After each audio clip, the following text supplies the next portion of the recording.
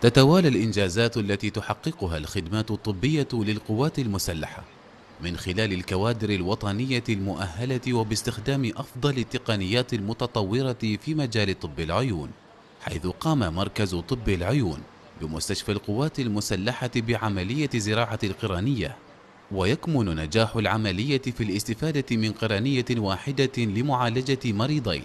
وهو أول إنجاز طبي في مجال طب العيون يتحقق على مستوى السلطنة.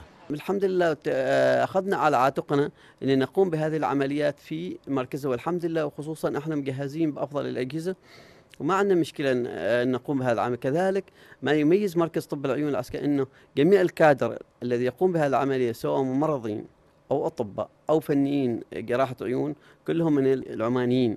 العملية تعد الأولى من نوعها في السلطنة والتي أشرف على تنفيذها كادر طبي وطني مؤهل ومتخصص لمثل هذا النوع من عمليات زراعة القرنية كما تم تدريب الطاقم الفني المساعد للجراح في مدرسة الخدمات الطبية بمستشفى القوات المسلحة. وقد أجريت العملية باستخدام جهاز الفيزو ماكس الذي يستخدم تقنية الفيمتو ثانية ليزر لجراحة العيون.